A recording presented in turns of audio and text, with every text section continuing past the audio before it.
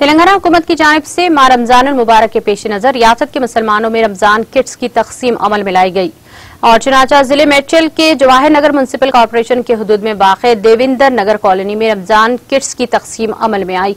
इस मौके पर जवाहर नगर के मजलिसी सदर सैयद जलील अहमद कादरी, सदर Muslim welfare association Jawahar Nagar MD Pasha Miyan की जेर निगरानी, सत्तर मुस्लिम खानदानों में रमज़ान किट्स तकसीम अमल में लाई गई।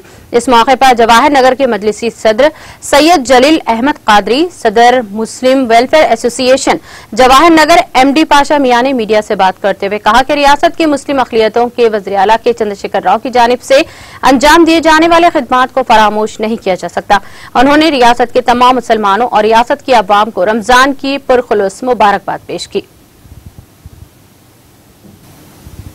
नगर के हजरात से अदबन गुजारिश है ख़वान हो या नौजवान हो, जो बुज़ुर्ग है और मास्क साथ रहे दिल से पहले मास्क बहुत ज़रूरी है, इम्पोर्टेंट है। कि मास्क लगा के घूमना बहुत ज़रूरी है। यहाँ की पुलिस और यहाँ की मीडिया बहुत तहक़ात बहुत कंट्रोल कर रहे हैं कि अपना भी फ़र्ज़ बनता है कि मास्क लगा के घूमें और बिना मास्क के ना निकले।